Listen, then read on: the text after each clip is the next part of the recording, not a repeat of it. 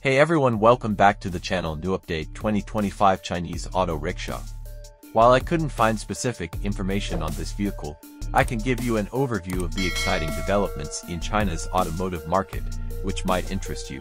Electromobility on the rise. China is leading the way in electric vehicles, with over 6.3 million units sold, accounting for more than half of the global market wide.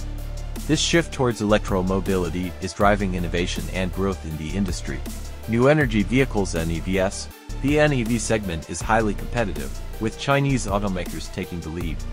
In fact, five Chinese automakers ranked among the top 10 most innovative automakers in 2023-2024 wide. Some notable examples of NEVs include Mini Aceman, a fully electric model with a range of up to 252 miles squared. Volkswagen ID, Code, a concept car with autonomous level for driving capabilities squared. Lamborghini Urus SE, a plug-in hybrid super SUV with reduced emissions squared. Autonomous driving.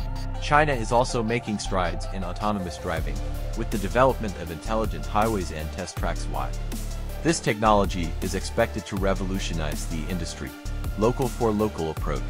The local for local strategy is gaining traction, where suppliers, sourcing, production, and sales markets are located close to each other wide. This approach offers benefits like faster delivery times, greater flexibility, and reduced logistical risks. While I couldn't find specific details on the 2025 Chinese auto rickshaw, these trends and developments showcase China's commitment to innovation and sustainability in the automotive industry. Thanks for the watching subscribe to my YouTube channel and more information on the bikes.